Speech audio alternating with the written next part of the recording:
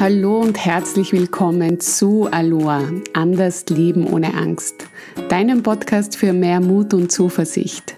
Mein Name ist Margrit Hanunkur und als psychologischer Beraterin begegnen mir natürlich viele Menschen, die auf der Suche nach einem glücklichen und zufriedenen Leben sind. Oft hören wir, dass wir alles, was wir dazu brauchen, bereits in uns tragen. Ob das auch im wahrsten Sinne des Wortes so sein könnte, dem bin ich in einem weiteren Aloha Glückstalk auf den Grund gegangen. Denn es ging diesmal darum, ob unsere DNA zu einem glücklichen und zufriedenen Leben beitragen kann. Was unsere DNA auf alle Fälle verrät, ist, welche Lebensmittel wir gut vertragen und welche Sportarten zu uns passen und noch vieles mehr. All das weiß Unternehmerin und Ernährungspädagogin Beate Rothmund von Beyond DNA, die mit mir übers Glück, ihren Weg und das Geheimnis unserer DNA gesprochen hat. Viel Freude mit einem weiteren Aloha Glückstalk und ja, bis zum Ende dran zu bleiben zahlt sich auch diesmal aus, denn Beate hat auch noch für alle Zuhörer und Zuhörerinnen ein Aloha Goodie mitgebracht. Ich wünsche dir jetzt viel Freude mit diesem spannenden Aloha Glückstalk. Ich habe schon ganz kurz ein bisschen was von dir erzählt, aber jetzt sind wir so schnell zusammengekommen, dass ich ähm, einfach sage, vielleicht erzählst du nochmal, du hast ja deinen Weg so ein bisschen ähm, auch über Umwege gefunden zu deiner Passion. Also Umwege, es waren die Wege, die du gewählt hast, aber du hast ja begonnen im Wirtschaftsbereich und bist dann quasi deinem Herzen gefolgt. Ja, ganz genau. Also ich habe ähm, eigentlich war das mein Lebensziel, mein Traum Wirtschaft studieren und dann im Finanzwesen zu arbeiten und habe dann aber gemerkt, eigentlich, wie ich dann sozusagen dort angefangen habe und ähm, Jahre gearbeitet habe, dass das eigentlich überhaupt nicht meine Passion ist und das hat mich dann schon auch ein bisschen so in eine Krise gestürzt, weil wenn natürlich du dein ganzes Studium auf das hinarbeitest und dann merkst, ähm, wow, das ist eigentlich gar nicht, für was ich brenne. Ähm, und äh, da habe ich dann natürlich gesagt, okay, was soll ich machen? Soll ich meinen Rest meines Lebens jetzt hier arbeiten und eigentlich unglücklich sein, weil Zahlen hier wahnsinnig trocken. Ich würde halt wirklich gern mit meinem Lieblingsthema eben Ernährung arbeiten und mit Menschen arbeiten und ihnen eigentlich helfen und habe dann wirklich den Schritt gewagt, eben ähm, Ernährungspädagogik dann nachzulegen und ja, nach vielen, vielen Jahren dann sozusagen hier gelandet. Okay, und du hast gesagt, ähm, du hast quasi, du hast Wirtschaft studiert, dann hast du gesagt, das war nicht das, wofür du gebrannt hast. War Ernährung bei dir immer schon ein Thema, was dich interessiert hat? Oder was war das, wofür du da so gebrannt hast? Ja, also Ernährung war eigentlich immer so mein Lieblingsthema. Ich hatte damals nur nie die Idee, dass ich daraus ein, ein Business oder ein Geschäft machen kann, ähm, weil das einfach so wie ein Hobby war. Also es war früher schon im Freundeskreis immer so, dass ich immer gefragt wurde, was könnte ich jetzt machen, um so viel Leber zu entschlacken, am Wochenende war mir zu lang aus oder meine Haut ist nicht so gut, glaubst du, mh, hm, was esse ich falsch, was könnte das sein? Und das war eigentlich so, ich habe mich immer so gerne in die Materie eingelesen und habe dann immer wieder so Ernährungspläne gemacht und habe dann eben in meinem ersten Studium gemerkt, ähm, dass ich den Ernährungsplan für eine Freundin geschrieben habe und die hat dann tatsächlich dann sieben Kilo abgenommen und hat gestrahlt, der ist richtig gut gegangen. Ähm, und dann haben natürlich alle anderen Freunde, weil sie es halt rumgesprochen äh, gehabt hat, gesagt, wow, den muss ich auch machen, darf ich den auch haben? Ich sagte, ja, na klar, äh, ich leite euch den weiter. Und die haben den auch gemacht und ein paar haben abgenommen und dann gab es ein oder zwei, die haben vielleicht so zweieinhalb, zwei Kilo abgenommen, obwohl die genau das gleiche gegessen haben und waren eigentlich eher frustriert und eigentlich eher müde, anstatt eben diesen Glow zu haben und sich richtig gut zu fühlen. Und da war eigentlich so die Anfänge ähm, der Beyond-Analysen, also weil ich gemerkt habe, es kann nicht für jeden die gleiche Ernährungsform möglich sein. Weil der eine hat Laktoseintoleranz, der andere hat Glutenintoleranz, der andere verträgt ein paar Früchte nicht, äh, der andere sollte ein bisschen mehr Sport machen, der eine braucht Ausdauer, der andere braucht Kraft. Aber das heißt, es würde eine Ernährungsplan nie funktionieren. Und das mhm. waren so die ersten Gedanken, die ich dann hatte, eben in die Personalisierung zu gehen, so dass jeder eine Möglichkeit hat, für sich das Beste zu machen und sich sozusagen zu optimieren. Ja, du hast jetzt schon ein bisschen gesagt Beyond. Beyond DNA ist die Firma, die du jetzt hast und das ist ja auch so quasi unser Thema, DNA und Glück, was das miteinander zu tun hat, weil unsere DNA, und ich habe ja nochmal nachgelesen, den richtigen medizinischen Ausdruck, der ist ja unaussprechbar für mich. Deshalb habe ich einmal geschaut, wie ist es einfach erklärt, aber es ist ja wie ein Buch, in dem wir lesen können, wie wir aufgebaut sind, wie wir funktionieren. Da ist ja wirklich alles bis ins kleinste Detail aufgelistet, was uns ausmacht. Genau. Und ähm, du kombinierst jetzt quasi, oder diese Analysen kombinieren aus unserer DNA heraus, was uns gut tut. Ist das so einmal kurz zusammengefasst? Genau, richtig. Also sozusagen so unser Oberziel oder mein Oberziel war einfach, in sich in seinem Körper richtig wohl zu fühlen und sich sozusagen so selbst zu optimieren. Also weg von Diäten, weg von Tür, sondern einfach, dass man weiß mit den richtigen Lebensmitteln, ähm, welche sind denn gut für mich. Und es ist halt so, man das kennt jeder, wenn man da früh aufwacht und einfach sich munter fühlt, sich gut fühlt, sich leistungsfähig fühlt und sich in seinem Körper wohlfühlt, ähm, und da hat die DNA natürlich einen großen Impact, weil wenn man genau weiß, was ist denn das Richtige für mich, kann ich dann sozusagen reagieren, weil so wie du richtig gesagt hast, die DNA ist so wie die Körpergröße, die man mal erreicht oder die Augenfarbe, die verändert sich nicht, aber die Epigenetik, ähm, also das heißt der Lebensstil rund um die Genetik, die kann man sehr wohl positiv beeinflussen. Das heißt, wenn ich weiß, ich habe Laktoseintoleranz und ich vermeide äh, laktosehaltige Produkte, fühle ich mich besser, mein Darm ist nicht mehr gereizt, ich kann Vitamine viel viel besser aufnehmen, die Haut verbessert sich, meine Stimmung verbessert sich, ich werde nicht mit diesem Blähbauch haben. Und das ist eigentlich eine klitzekleinigkeit, die zum Beispiel sein kann, unter hunderttausend anderen Sachen, die man natürlich äh, bei den Analysen erfahren kann. Und du hast es auch angesprochen und da finde ich, ähm, ist dann so schön dieses Glück, das wir ja empfinden, wenn wir uns wieder in unserem Körper wohlfühlen. Es hat ja nicht nur ähm, mit unserer Ernährung zu tun, weil manche Menschen haben ja vielleicht jetzt nicht nur äh, ein Thema mit Gewicht. Aber so wie du gesagt hast, es kann die Haut sein, es kann mhm. ähm, Sport sein, der uns gut tut. Und all diese Faktoren ähm, tragen ja dann zu einem glücklichen und zufriedenen Leben bei. Das heißt, bei euch kann man ja ganz viel aufgrund der DNA austesten. Ich war ja mhm. ganz begeistert, was ich da alle für Bereiche gelesen habe. Das heißt, es ist ja nicht nur, wenn ich jetzt mein Gewicht reduzieren möchte, damit ich mich wieder wohler fühle, mhm. damit ich glücklicher bin, sondern in unserer, unsere DNA verrät uns ja auch in ganz vielen Bereichen, was uns gut tut, oder? Was sind denn da so die, die ähm, Bereiche, die ihr da auch abdeckt? Ja, also wir, also natürlich ähm, das meiste Nachgefragte ist eben die Kombination des Premium Life, das ist gesunde Ernährung und Abnehmen kombiniert. Aber was auch ganz stark ist, ähm, sind jetzt auch sozusagen die Männer. Also es ist früher war es wirklich so 80 Prozent Frauen, 20 Prozent Männer, aber jetzt ist es schon fast Hälfte Hälfte, dass auch die Männer sich äh, für gesunde Ernährung und sozusagen besser fühlen äh, im Körper interessieren und da haben wir jetzt auch äh, Beyond Fitness zum Beispiel, also geht es wirklich um Leistungssteigerung, gerade ähm, wenn man das auch ähm, nebenbei eben einfach ja meinen Marathon vorbereiten möchte, wäre das gut. Und jetzt haben wir auch eine hohe Nachfrage gehabt. Jetzt haben wir auch Beauty hinzugefügt. Also welche ähm, ähm, Inhaltsstoffe sozusagen ähm, sollte man vermehrt zu sich nehmen und welche sollte man eher meiden, um sozusagen äh, die DNA optimal ähm, auszunützen bekommt man Informationen, den Feuchtigkeitsgehalt der Haut zum Beispiel, UV-Schutz, Kollagenaufbau und Abbau, der natürlich sehr wichtig ist, um den Alterungsprozess sozusagen so lange wie möglich herauszuzögern und das biologische Alter ähm, natürlich dann zu verlängern. Und vor allem auch das der Haut zuzuführen, was sie braucht, oder?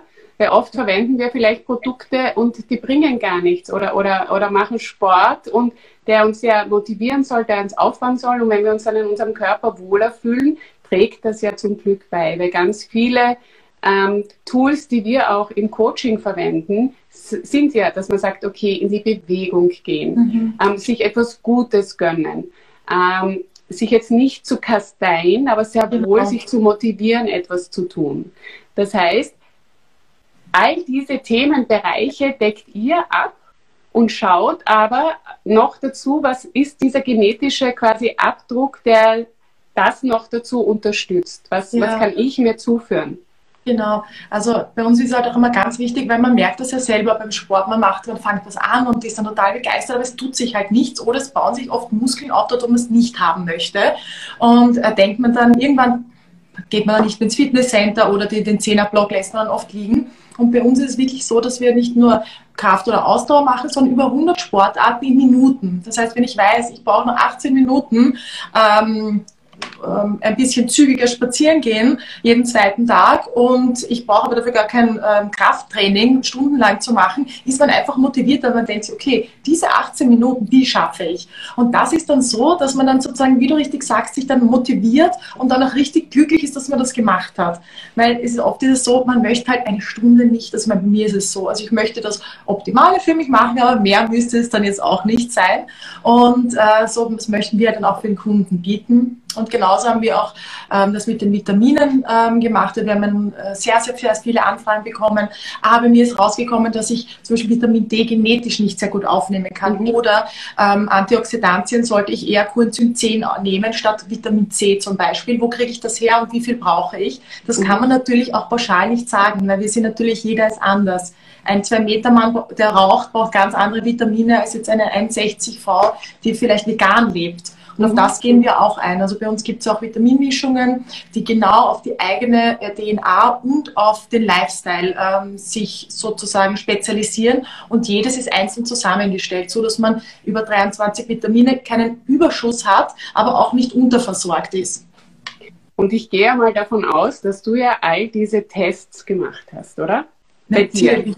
Und ähm, sind da bei dir Dinge rausgekommen, wo du gesagt hast, ah, das ist etwas, womit ich wirklich auch in Resonanz gehe? Also, dass du schon gespürt hast, es ist etwas, was mir gut tut oder was ja. mir weniger gut tut? Oder sind das dann so Dinge, wo man sich denkt, oh Gott, jetzt muss ich auf das verzichten? Oder ist da so ein bisschen diese Resonanz im Körper? Weil ich finde, oft bei Austestungen kriegt man dann nur mehr Verbote und das macht überhaupt keinen Spaß.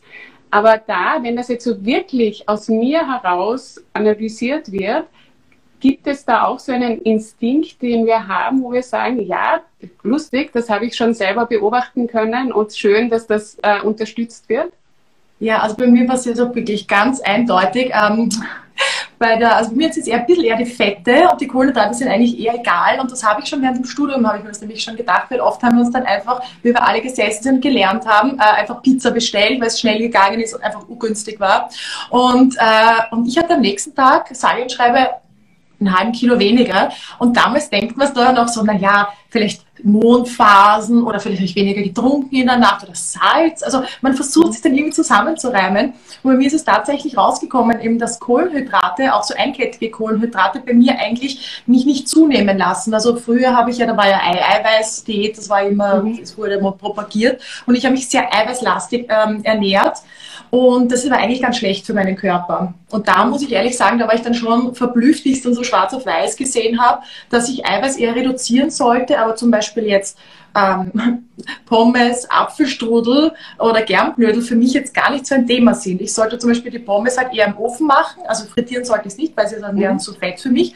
Aber das sind halt schon Dinge, die jetzt keine Diät sagen würde. Und deswegen lebt man einfach leicht damit und äh, kann trotzdem in Form bleiben, ohne dass man akribisch jetzt die äh, Kalorien zusammenrechnen müsste. Und das finde ich eben so schön, weil ich sage, ganz vieles äh, spüren wir ja auch richtig ja. in unserem Körper. Und wenn wir dann aber nur so nur Zutaten kriegen, und ich glaube, das ist ja bei euch überhaupt, die werden ja, es werden ja die Vitamine dann empfohlen, die richtigen, die einem genau. gut tun. Es genau. wird die Sportart, also nicht nur ähm, äh, wie man jetzt nur nicht nur Kraft oder Ausdauer, sondern es werden ja auch Sportarten richtig dir aufgezählt, wo man dann auswählen kann, oder? Ja, genau. Also man, man hat auch eine Wahl und es ist so, dass man eben auch wirklich Pizza essen darf oder dass es ja auch, auch wirklich Gerichte draufstehen oder die man zu sich nehmen darf.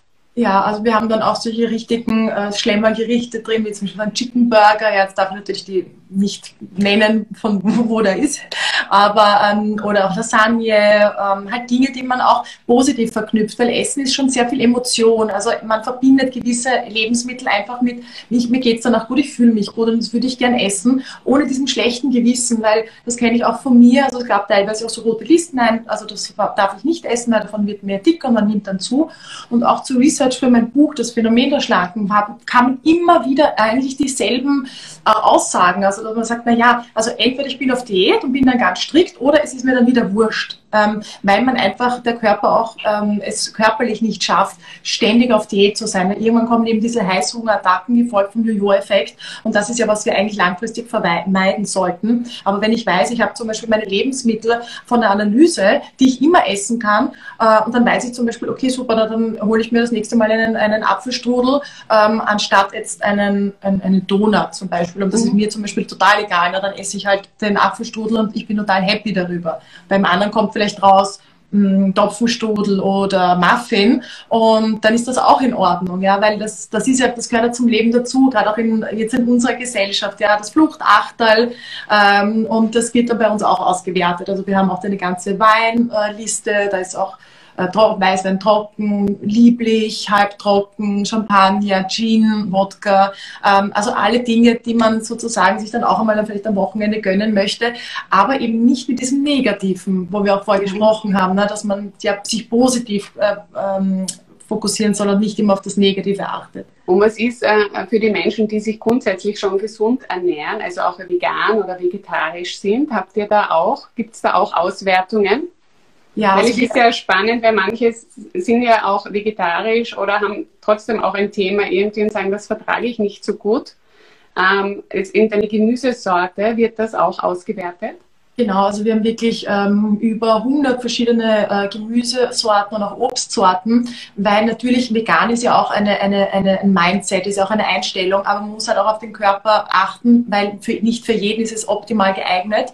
Und dann sieht man dann auch ganz genau, auch zum Beispiel Seitan ist auch dabei ähm, und da sieht man dann auch ähm, Ersatzprodukte, ob die dann äh, adäquat für den, für den eigenen Körper mhm. sind. Weil das kann natürlich sein, wenn ein Freund erzählt, ich lebe vegan und das ist so super, mir geht's gut und meine Blutwerte sind toll, kann aber sein, dass das bei mir selber dann nicht der Fall ist. Und mhm. da muss man dann schon sehr aufpassen, dass man nicht vermeintlich glaubt, man lebt gesund und man macht es eh toll und mhm. kauft die Sachen dann oft, oft teuer ein, aber für den eigenen Körper hat es diesen Mehrwert nicht.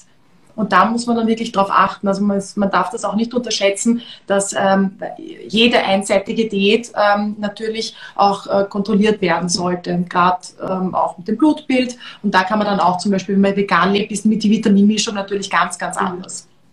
Und was äh, ihr ja auch äh, macht, ist ja auch Medi äh, Medikamentenverträglichkeiten austesten. Ganz und das genau. Wichtige ist ja auch, dass ihr immer in Kooperation auch mit Ärzten arbeitet. Also es Ganz ist jetzt genau. nicht so, dass es jetzt irgendein äh, neumodisches äh, Austestung ist, sondern das hat ja wirklich auch medizinischen Background, oder? Genau, also es wird genau. auch geachtet darauf, dass äh, medizinisch es einem gut geht, dass man ja. auch wirklich nicht jetzt Medikamente zu sich nimmt, die man vielleicht einmal braucht, weil es einem nicht gut geht. Also mhm. man schließt ja nicht alles aus, aber die man gar nicht verträgt.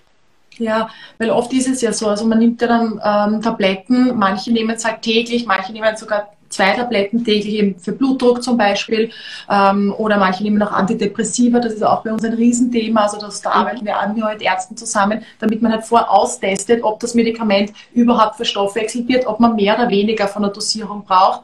Das ist auch im ganz einfachen Ampelsystem mit Pfeilen ähm, dargestellt und dann weiß der Arzt auch, ah super, okay, das funktioniert oder das funktioniert nicht. Mhm. Oder zum Beispiel mir ist rausgekommen, Aspirin kann mein Körper gar nicht äh, äh verstoffwechseln und das stimmt auch. Also ich hatte auch da, damit immer Probleme Probleme, nur da kommt man ja nicht drauf und wenn man es weiß, dann nimmt man es erst gar nicht ein. Also es sind dann auch, äh, das ist dann eben ganz, ganz, ganz äh, wichtig, finde ja, ich. Weil der Leidensdruck wird ja auch noch einmal größer, wenn wir eh schon zu einem Arzt gehen und auch einmal sagen, okay, für eine gewisse Zeit brauche ich jetzt ein gewisses Medikament. Mhm. Das wirkt nicht, da muss ich wieder das Neue ausprobieren und wieder eins ausprobieren und das macht ja auch einen großen Leidensdruck noch zusätzlich, wenn man nicht ja. nicht die richtige Medikamentation findet oder Medika wie sagt man?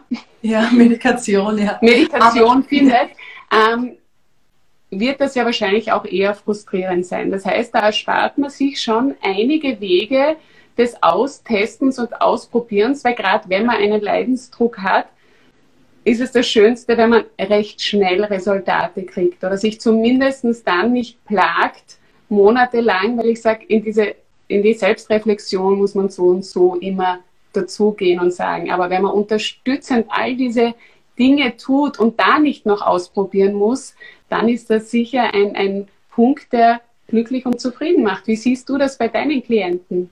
Ja, also absolut. Also da haben wir auch sehr, sehr viele Rückmeldungen eben von Ärzten, die, die das zuerst austesten, gerade bei Medikamenten, die man halt für den Rest seines Lebens nehmen muss oder ähm, sozusagen auf jeden Fall einmal für eine längere Zeit. Und da ist natürlich wichtig, dass man da nicht das an seinem eigenen Körper ausprobiert, sondern mal von vornherein weiß, okay, die und die Dosierung ist dann optimal. Also das ist uns auch immer ganz, ganz wichtig, dass wir eben auch ganzheitlich arbeiten, dass wir sagen, okay, natürlich ist die Ernährung und in, in sein Körpergewicht in einem Normalgewicht äh, zu halten, da geht es überhaupt auch nicht um optische Reize, sondern da geht es einfach wirklich um die Gesundheit, Blutdruck, äh, kardiovaskular, ähm, aber auch eben, wenn der Fall ist, dass dass es dann schon so ist, dass man Medikamente nehmen muss, dass man halt dann auch ganz genau weiß, okay, über 2000 Medikamenten Inhaltsstoffe werden da ausgetestet, also nicht nur der Name des Medikamentes, so kann man das auch zum Beispiel international nutzen, wenn man mal meinetwegen, äh, oder im Sinne, dass man einen Autounfall hat oder äh, dass man das auf jeden Fall als PDF kann man zum Beispiel immer dabei haben oder da kannst der Partner auch abspeichern, dass man dann auch nachschauen kann,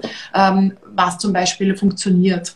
Gerade ja, das äh, ist toll. So wie einen ja. Blutgruppenpass quasi hat man ja. gleich dabei auch, welche Medikamente man verträgt und welche nicht. Ganz genau. Und das ist halt dann auch oft ganz wichtig, weil gerade in den ersten, auch die Ärzte sagen, das muss halt in den ersten Minuten sozusagen schon richtig reagiert werden. Und es gibt dann halt schon ähm, Patienten, die dann gewisse Sachen, Cortison oder, oder, oder nicht vertragen. Und das muss man halt wissen. Und das weiß dann natürlich auch der Partner, der dann vielleicht auch bestenfalls dabei ist. Ähm, oder das kann man dann vielleicht dann auch in die Geldbörse dann noch einmal hineingeben, dass man eben diese Austestung gemacht hat und dass das und das auf keinen Fall gegeben werden soll. Ja, es ist wirklich spannend. Und das alles steckt in unserer DNA drinnen. Also was würdest du sagen, trägt unsere DNA zu einem glücklichen und zufriedenen Leben bei? Also ich würde natürlich sagen, auf jeden Fall, weil ich finde, wenn man sich ähm, was Gutes tun kann und sich selbst optimieren kann, es ist ja natürlich immer so, wenn es einem selber gut geht, geht es natürlich allen anderen gut. Wenn man strahlt es dann auch aus, dass man einfach zufrieden mit seinem Körper ist. Und wenn man ähm, an ihm arbeiten möchte, hat man sozusagen einen Fahrplan an der Hand. Und wenn man sagt, so, nein, ich habe jetzt, jetzt Urlaub und jetzt möchte ich es halt gut gehen lassen, dann hält man es halt vielleicht nur zu 40 oder 30 Prozent ein. Aber man hat dann wenigstens eine Tendenz, dass man, wenn man zum Italiener geht, weiß, man kann jetzt zum Beispiel eine Pasta essen, aber keine Carbonara, sondern halt ähm, eine Pomodoro zum Beispiel. Ähm, aber trotzdem kann man leben. Man hat da nicht das Gefühl, dass man immer diesen Salat essen muss. Und ich glaube, diese Leichtigkeit, äh, die man dann einfach ausstrahlt, ist dann schon, glaube ich, auch für sich selber und auch für das Umfeld einfach immer angenehm. Ja, und du hast gesagt, ähm, so quasi, es ist ja diese Leichtigkeit, die dazu kommt. Und ähm, wenn wir beschließen, gut um, äh, gut, uns, gut um uns zu sorgen, dann schließt das ja den Körper ein, den Geist ein und ähm, auch unseren Verstand. Und ich glaube, wenn wir ähm, auch begreifen, was uns gut tut, und wenn wir das jetzt so, du sagst immer, du kriegst ein Handbuch dazu, da steht das relativ simpel aufgelistet drinnen. Also man versteht auch, Nudeln sind okay grundsätzlich, mhm. aber gewisse Soßen nicht. Also es wird wirklich genau. so ins Kleinste, dass man variieren kann genau. und dann ähm, eben glücklich und zufrieden das Leben gestalten kann und trotzdem vielleicht die zwei, drei Kilo abzunehmen, weil man sich dann einfach wohler fühlt oder etwas äh, für die Haut zu tun. Das ist ja dann vor allem eher für die ältere Generation äh, interessant, welche Cremen tun mir gut, welche Medikamente tun mir gut, welcher Sport tut mir gut? Und dann wird man glücklich und zufrieden, auch noch unterstützend mit diesem Beyond DNA. Wie kann man das denn, wenn jetzt jemand sagt, puh, das interessiert mich, wurscht welcher Bereich, ob das Ernährung, Fitness, äh, Medikamente, äh, Beauty, Vitamine ist. Wie funktioniert denn das? Wenn man also, sagt, das möchte ich unterstützend dazu tun. Genau, also wir haben es jetzt aufgrund von Covid eben und ähm, damals war ja eben alles geschlossen, haben wir jetzt eine, eine Internetplattform, ähm, eben www.beyond-dna.at. Da kann man bequem alle ähm, Analysen, die es gibt, durchlesen, sich seine Wunschanalyse aussuchen. Die versenden wir kostenfrei weltweit ähm, zur, zur Wunschadresse. Äh, da also das, dieses Set verschickt genau. kostenfrei, das kriegt genau. man so. Genau, und da kann man zu Hause die Speichelprobe machen und schickt dann an die vorgedruckte Adresse zurück. Und circa zwei Wochen später erhält man dann sozusagen ein komplettes Buch über sich selber und seine DNA, je nachdem, welche Bereiche man gerne hätte. Und es ist extrem spannend, das eben auch über sich selber zu lesen, ob man ein häufiger Snacktyp ist oder ähm, der starke Hungertyp oder welche Sportart ob er am effizientesten ist oder welche Süßigkeiten äh, man essen kann ohne schlechten Gewissen. Also ich kriege ein Booklet, das mir sagt, was mir gut tut, was meinem Körper gut tut und das kann ja. ich auf alle Fälle unterstützend tun und somit auch gleich ein bisschen Achtsamkeit in mein Leben bringen. Ganz genau. Ganz Wird es dann noch zusätzlich, hat man dann noch äh, bei dir eine Stunde oder wo das erklärt wird, wenn man Fragen hat? Genau, also man kann dann ähm, sehr gerne nachher noch ein Nachgespräch buchen. Das findet dann entweder bei mir oder bei einem von meinem Team äh, statt. Da kann man dann nochmal alles durchgehen. Wenn man Fragen hat, äh, kann man das dann natürlich auch noch äh, stellen. Äh, wir haben dann natürlich auch ein Internet, also äh, Contact at Beyond DNA, da kann man nochmal Fragen hinschicken oder man ruft bei der Hotline an, wenn man noch Kleinigkeiten wissen will, wenn man sich nicht sicher ist, welche Analyse ist die beste. Ähm, mhm. Also wir sind sozusagen mit Rat und Tat da, weil ich eben gemerkt habe, dass es ganz wichtig ist, dass immer eine Bezug, Bezugsperson äh, dahinter steht ähm, und auch Partnerärzte haben wir. Also das heißt, je nachdem, was dann gebraucht wird, ähm, steht dann bereit. Okay, also man, man kriegt ein rundum Wohlfühlpaket. Genau. Ich weiß nicht, ob du den Aloha Glückstalk schon einmal gesehen hast. Es geht ja um Glück und das ist natürlich dann immer sehr spannend, was auch dein Glück ausmacht. Und am Ende des Aloha Glückstalk habe ich einen kurzen Wortrap, wo ich ein paar Fragen habe, auf die du kurz und bündig antwortest. Dreht sich alles ums Glück. Wenn dir einmal eine Frage nicht einfällt, dann kannst du gerne sagen weiter. Aber ich glaube, du wirst auf jede Frage eine Antwort haben. Bist du bereit ja, einen spontanen Glücksrap? Ja. Glück heißt für mich. Ähm, Zeit mit der Familie zu verbringen und Freunden natürlich. Mein Glücksplatz ist? Ähm, Südfrankreich. Meine Glücksquelle ist? Ähm, meine Morgenroutine. Schön. Darf ich fragen, was in dieser Morgenroutine vorkommt? Ja, also bei mir ist es wirklich so, ich stehe in der Früh auf und das war für mich so ein Game Changer. Früher habe ich immer nur sofort das Handy, E-Mails gecheckt und ich war schon irgendwie äh, total gestresst und eigentlich überhaupt nicht bei mir, dass ich mich wirklich in der Früh für drei Dinge bedanke.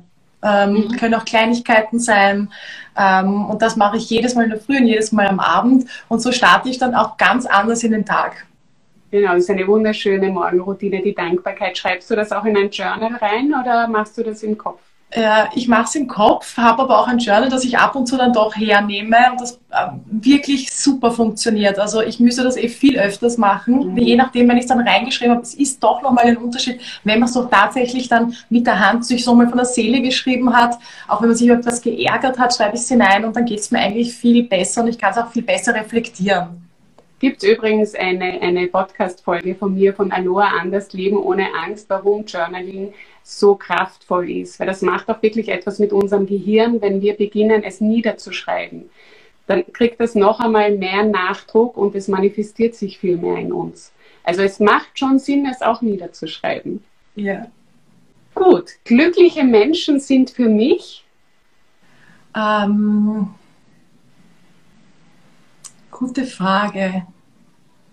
Ich glaube, man, ein glücklicher Mensch ist, wenn egal was es ist, man etwas für sich gefunden hat, für das man brennt. Ob es jetzt ein Hobby ist, ob es jetzt ähm, Mutter sein ist, ob es jetzt eine Firma ist, ob es der Hund ist. Ich glaube, wenn man etwas hat, für das man brennt, ich glaube, das macht glücklich. Mhm. Und das macht Menschen auch wahnsinnig anziehend, finde ich, wenn sie dieses Leuchten in den Augen haben.